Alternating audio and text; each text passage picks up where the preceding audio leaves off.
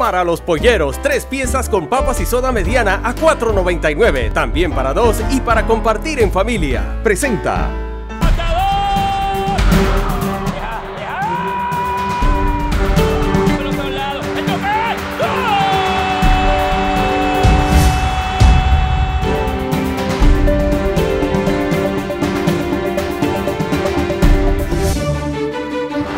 Estamos aquí en Lima, Perú, donde Luis Tejada pasa sus días jugando al fútbol en el Universitario Deportes, pero también piensa en esa clasificación histórica de Panamá a su primera Copa del Mundo. Vamos a ver cómo es un día con el Matador.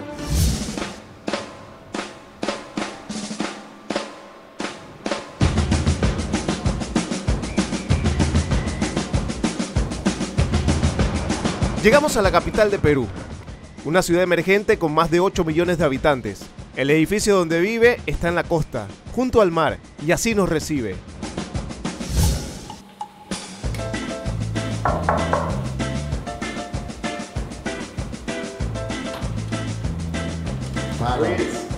bienvenido mi hermano a la casa. El matador nos recibió muy temprano para iniciar un día con él. Pero antes de hablar de fútbol tocamos un punto importante en su vida, sus hijos.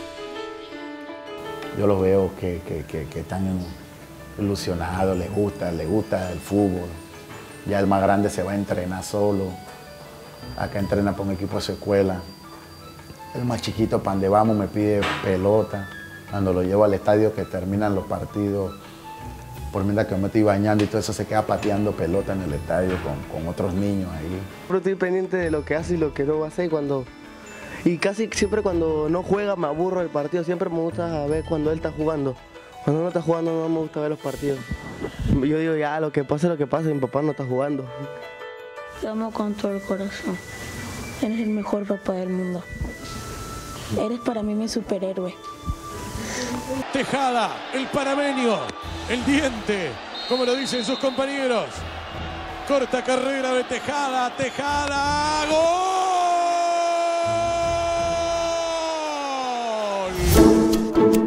Hablo con mi esposa, ¿no? Y a veces estoy en el cuarto así acostado y, y mi hijo, el más chiquito, trae el iPad y papá mira y pone el resumen así de, lo, del partido, cuando se acabó allá que decían que se acabó en esta uno, en Trinidad y eso, y a veces me pongo a llorar de verlo. No sé, las nada, se me salen las lágrimas porque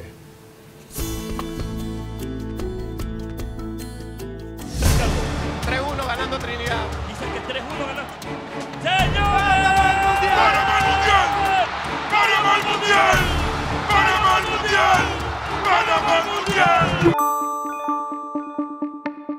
Y ya cuando él está en casa, este, como que tratamos más de estar unidos y el poco tiempo de, de estar juntos. Y eso es algo muy, que lo tomamos en cuenta mucho. ¿Cómo es como papá?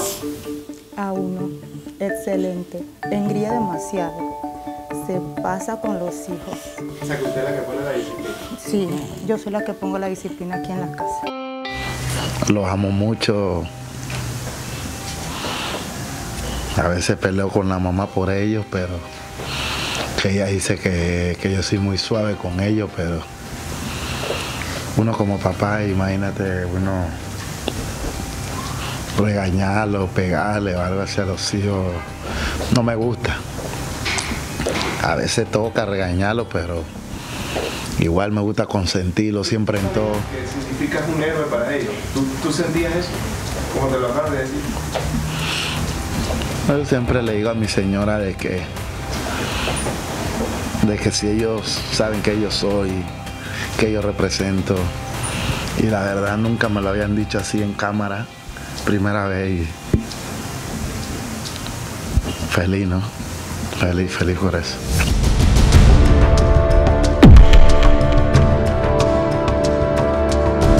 Se la puse abajo del arco, ya le había puesto una Gaby, una bla, no me la había metido. Pero la verdad, cuando Cooper patea el balón, que yo lo vi, yo me anticipo al hombre y yo estoy pensando que el que está adelante, si mentiste, es Blas o Gaby. Nunca pensé que estaba Román porque todavía iban 88 minutos, todavía faltaba.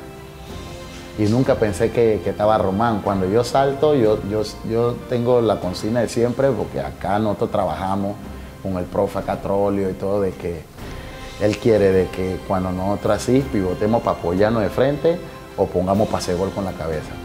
Y el delantero que está ahí tiene que arrancar, confía en que nosotros ganamos. Y entonces acá ellos también hacemos esa con Quintero, como Quintero acá casi es otro delantero.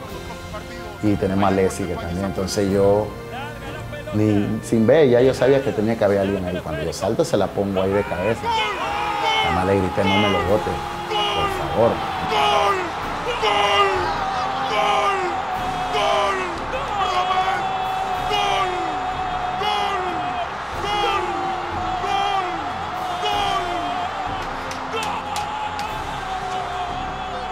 ¡Gol! ¡Gol! No tiene ni idea, yo corrí para, para la grada, hace que mi mamá viniera para abrazarla, estaban mis hermanos. Hasta iba a pelear con un policía. Un policía no me la va a dejar entrar, que no, que la gente se quiere meter. A mí no me interesa si la gente se quiere meter. Que se metan o tú eres de, tú eres de otro país. Que se metan la gente y que disfruten con los jugadores. ¿Tú crees que si la gente se van a meter, que no van a hacer algún daño a nosotros? La gente se van a meter en la cancha de alegría. Se luchó, se trabajó, pero Ay, yo me tiré al piso de la emoción a llorar. Estábamos en la recámara viendo el partido y yo temblaba y Liz me abrazaba. Marielis estaba acá en, en el computador y yo lloraba, lloraba de la emoción y yo nada más decía gracias, Dios mío, gracias. Cuando yo me volteé vi que mi papá cabeció y yo decía, Román, corre, Román, corre. Y yo vi que Román le tiró el cuerpo, se cayó, y yo vi que metió que bombazo y gol. Me puse ca- se me salían las lágrimas y saltaba y me puse- subí arriba de la cama y salté, abracé a mi mamá, todo. Cuando mi papá le metió el paso a Román, yo estaba bien feliz. Yo decía, Román, no la falles, no la falles. Métela para poder pasar al mundial. Y la metió, gracias a Dios. Luego de compartir con su familia nos fuimos al campo de entrenamiento, donde un hombre que lo conoce perfectamente habla de él. Su entrenador, Pedro Troglio, subcampeón con Argentina en Italia 90. Sobre Panamá en el Mundial lo dejó claro. Tipo extrovertido, divertido, cómico, eh, eso es la fase humana, gran profesional.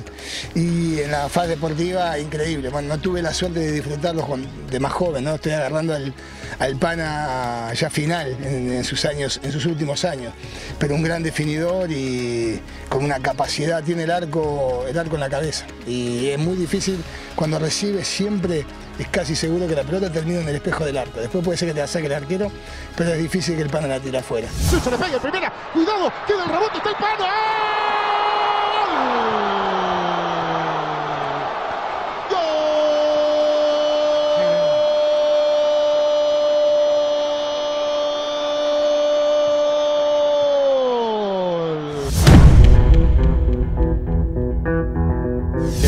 Alegría, lo veo hace muchos años eh, en el fútbol peruano, haciendo goles, siendo el goleador de los campeonatos. Y la verdad, el día que llegó para mí fue un orgullo, una felicidad muy grande que el pana, como le decimos nosotros aquí en Perú, eh, comparta camerín conmigo. ¿no? Es, es este, una experiencia muy bonita. Es de hacer bromas, de poner su música extraña. ¿Qué, qué- Sí, sí, es muy gracioso. He compartido mucho con él eh, desde que llegó. Me pegué mucho a él para, para aprender. Y la verdad es que es una gran persona, es muy divertido, eh, es muy cómico. Eh, la verdad que la pasamos bien con él. Luis Tejada, ya este, del comienzo año estuvo con nosotros, está con nosotros. Lo conozco, ya, de- ya tiene varios años acá en Perú porque ha jugado en varios equipos. Y, este, y nada, ahí, este, eh, ahí lo estamos llevando bien, está bien, están haciendo goles, se ha adaptado, se ha acoplado rápido al plantel. Hoy en día creo que con este logro van a, van a creer y confiar un poquito más en él porque es un señor que la verdad yo le doy mi respeto porque yo estoy de testigo, yo estoy de testigo, yo, que le había salido algo irse para otro país a cobrar millones de dólares. Y él nos los dio una charla, no me acuerdo en qué país estaba, ¿no? Yo no me voy. Porque cuando yo dirigía Guatemala, creo que era, y yo lo enfrentaba a ustedes, yo sabía que ustedes tenían potencial. Y yo decía que con esta selección yo puedo ir al mundial. Y yo sé que si yo voy al, al mundial con ustedes, más me van a creer a mí que ir para el Mundial con otra selección más, más fuerte. Él siempre nos lo decía, tienen que aprender a ganarle a los grandes. A ti, ¿quién es el moro goleador de Real Madrid? Mira, mira el partido. No, que ese Modric juega bien. Y tú no lo ves que él se saca uno, dos tres. Los errores que ellos hacen, él los recupera, mira. Pero para abajo se dieron de cuenta la importancia que él tenía en el equipo. Por algo Bolillo lo mete. Si Bolillo no quiere perder. ¿Tú crees que tú siendo técnico vas a querer meter a un jugador para perder? Si te van a criticar. Pero si tú lo metes porque ese jugador te da mucho la mano. Y yo veía que todo era, Panamá ganaba, igual Gavilán no servía. Panamá perdía, la culpa de Gavilán. Y él, a veces no estaban igual, igual echaban la culpa. Y por eso yo le dije a los pelados, dediquémonos, weá, vamos prepararnos para ese partido que viene.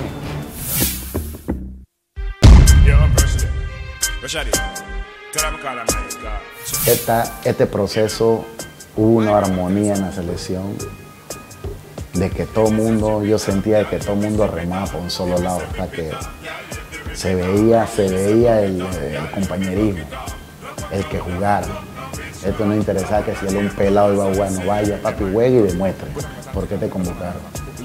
Gánese la, la, la otra convocatoria, gánesela ahí a pulso. Y entonces, si, si le preguntan a cualquiera que ha llegado nuevo a la selección cómo se le trata, ellos solo te lo van a decir y sin, sin tú tenerlo que obligarlo a nada. Entonces, pura transparencia, no es que este va a ganar más que el otro, ni que este le va a bajar caña al otro, no, ahí hay, cuando hay que divertirse se divierte, cuando hay que entrenar se entrena, cuando hay que ponerse serio se pone. ¿Tú pones la música?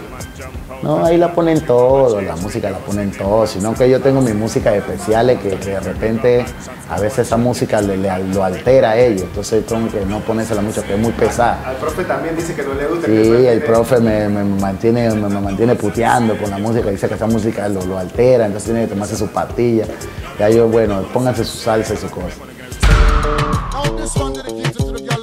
Nosotros desde chiquito, antes, nosotros teníamos a uno y que Chequele, Pecadito, y a uno y que, y que Rubén Chichón, a ellos dos.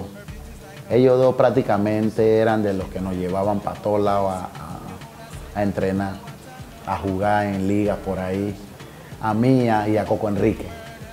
Coco Enrique, porque Coco Enrique también es de San Joaquín y vivía en mito cerca. Y, y entonces allá en San Joaquín hay un gimnasio, una cancha, donde Chequele, se llama Chequele, él se paraba y de ahí se paraba y silbaba dos veces.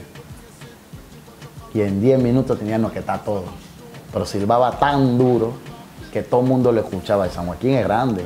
Habían jugadores de la ERSA, de Villabún, de por allá de Calle Colón, de allá abajo de por donde los Drupi, de acá arriba de nosotros, en el bloque. Habían jugadores de todos lados. Y él silbaba dos veces. El piuí, y cuando él ese silbato, siempre ya estaban ahí. El único que siempre se demoraba era Coco Enrique. Aquí todo el mundo cuando escucha ese silbato, todo el mundo corre a, a- a ver qué, qué es lo que está pasando. Él era el único que lo hacía, a ver si me sale. No sé, ese silbido, él, él era el único que lo... Dice que ellos podían estar por acá y ese hombre silbaba y quedaban todos allá. Y como ellos siempre lo iban a buscar para ir a jugar a la distritorial, no sé a dónde es que para todos lados él iba. La verdad, yo cuando estaba pequeño, mi familia, mi familia por parte de, de- mi mamá son futboleros, mis tíos, mis primos, todos les gustan fútbol. Mis tíos más jugaban profesional, mi tío Roberto Hansel, mi otro tío José Hansel jugaba para el Oro Kicker. Y yo de chiquito recogía balón. Cuando él jugaba en el MM, no sé si, si escuchaste ese equipo, yo iba con él, recogía balón, después jugaba en el Eurokicker. Y yo me acuerdo que la primera vez, la primera vez, Patón, Patón, Patón para mí, en Panamá es mi ídolo. El panameño futbolista para mí, mi ídolo Patón, yo crecí con él y crecí viéndolo y mi ídolo. Entonces, me acuerdo que- que primera vez cuando yo fui a, a entrenar a un equipo así profesional, fue para el Panamá Viejo. Estaba Gary Stempel y Patón me lleva. Ven, para que ya te haga, te voy a poner a entrenar. Así como hablamos allá en Panamá. Y cuando él me lleva, yo entrené como dos, tres veces. Y Gary Stempel me quiere meter de defensa. Eso no iba contigo. Sí, me gustaba también jugar a veces defensa para meter pata y eso. Estaba Gary Ramos, estaban todos. Gary Ramos siempre me recuerda eso. Y me acuerdo que en San Joaquín había una liga que era italiana. Y nunca se me olvida que vi que llegó el Tátara y se me quedó viendo jugar. A mí, a mi primo, el Tátara de Vara. Nunca se me olvida y me dice, ¿cómo tú te llamas? No, yo Luis Teada. No, me han dicho que tu tío es Roberto Hansen. Sí, ese es mi tío. ¿Y por qué tu tío no te haya llevado a jugar con el Tauro? Me dice. Yo, no sé. Bueno, preséntate el lunes que yo ya sepa que vaya y entreno. Me acuerdo que estaba Mancilla, técnico. Y yo me presenté con mi primo, pero mi primo era muy vago para entrenar y todo el mundo decía que él iba a ser mejor jugador que yo, que era mejor, pues que era mejor, porque tenía una zurda que pateaba tiro libre, que todo eso. Era privilegiado él. Bueno, no le gustaba entrenar, yo sí me iba a entrenar. Pues me acuerdo que a Mancilla lo llevan a la selección y que apoyato de técnico. Y llaman a mi tío porque yo pertenecía a, al AFI. Primero era siglo XXI y después se independizó AFI, donde estaba Testa y Volvarán. Para el pase, entonces el Tauro le dio, no sé qué le habrá dado, le dio un, unas cosas que el Tauro me dio que les dio como por lo derecho, por yo jugar. Y me acuerdo que Pollato fue que me puso a debutar.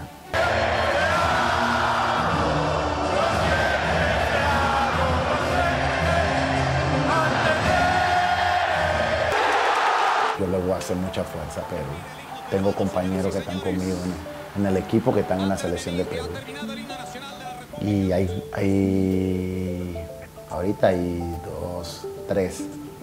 Convocaban a cuatro, ahorita hay tres. Que son, dos son titulares y el segundo arquero.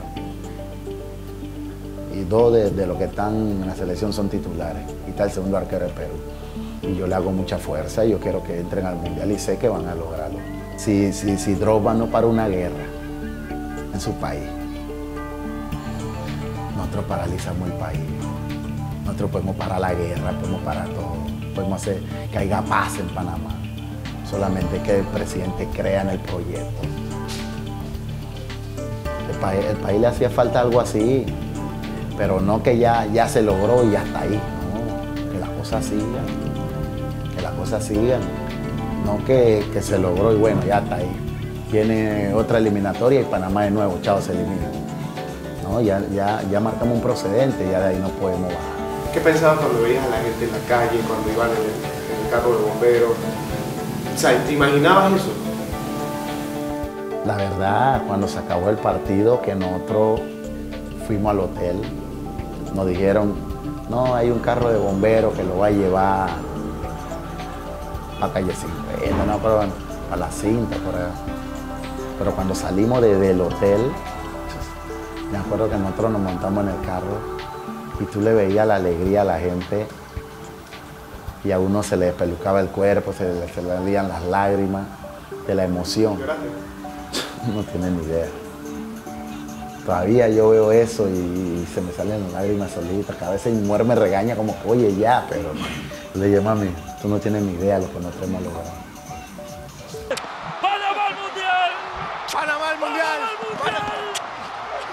Que a mí siempre me han dicho algo, que la primera nunca se olvida. Es como cuando tú acabaste de nacer y, y por primera vez das tu primer paso. Tu mamá siempre va a llevar eso, el recuerdo. Entonces ahora nos tocó a nosotros, así como cuando yo campeoné en el Aurich. Y el Aurich ahora difícil, está que campeone. Y a mí me dicen, ya tú quedas en la inmortalidad. Nosotros quedamos en la inmortalidad de Panamá.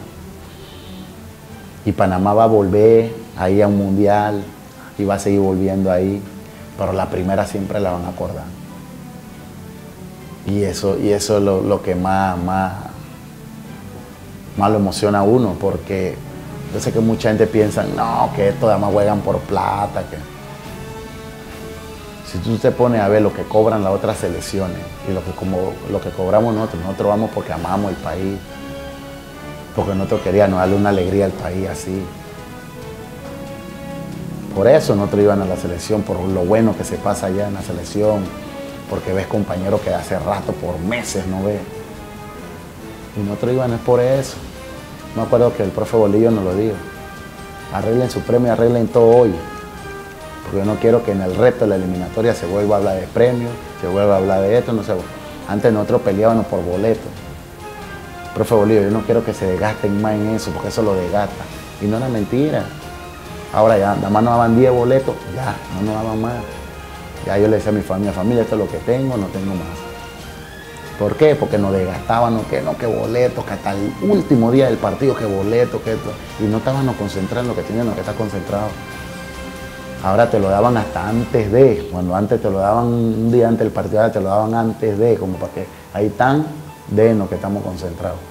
¿No? A la gente que, que, que me están viendo, más a la gente grande de los barrios, que ayuden a los niños, a la juventud, que hagan que la juventud no se pierda, porque hoy en día mucha juventud se están perdiendo y, es triste. Y en los barrios hay buenos talentos, buenos talentos, no solamente de fútbol, de básquet, de béisbol, de mucho deporte. Además es cuestión de, de, de ayudarlo, de apoyarlo apoyarlo, apoyarlo además y, y sabemos que, que, Panamá va a crecer mucho más en el deporte.